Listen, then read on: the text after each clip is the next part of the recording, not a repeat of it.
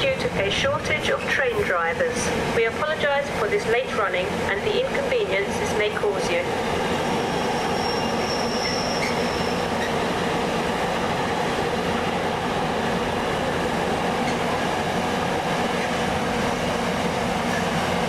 The train now approaching platform 4 does not stop here.